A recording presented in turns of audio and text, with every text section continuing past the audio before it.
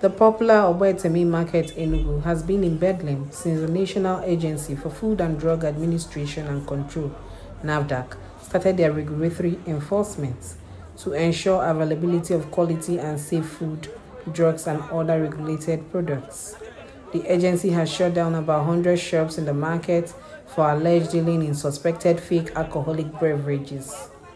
The market businessmen and women whose shops were locked down refused to speak to the press on the ongoing raiding. They maintain that they will only speak as a body after NAFDAC has concluded their investigation and tendered their final reports. A trader who spoke off camera disclosed that the regulatory process has put all wine and beverage sellers on their toes. She suggested that the agency should also visit the places these fake drinks are being produced in the main market. She insisted that these fake wine producers are the major culprits. Speaking with Martins Iluyomade, the director of NAFDAC Southeast Zone, he attributed the selling of these shops to their agency's mandate towards regulating and controlling food, drugs, cosmetics, medical devices, chemicals, detergents, and packaged water. NAFDAC doesn't give we don't treat people, we just give blanket judgment.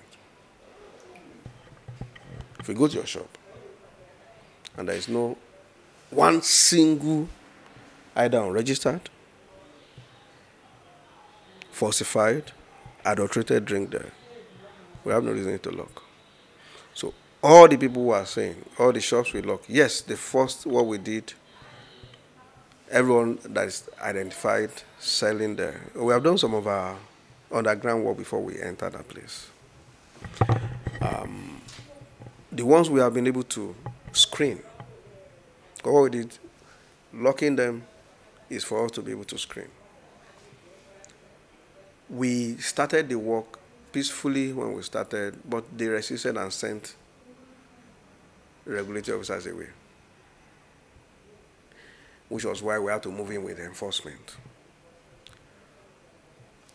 All the shops so far that we have sealed, that we have sealed and that we have screened had adulterated products.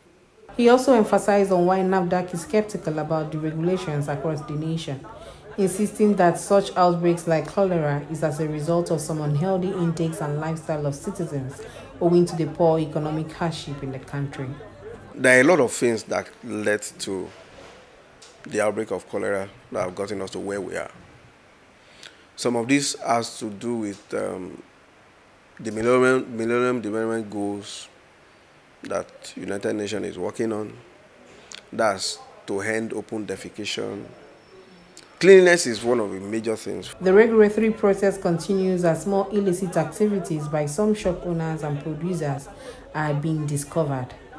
Chinemere Signature TV.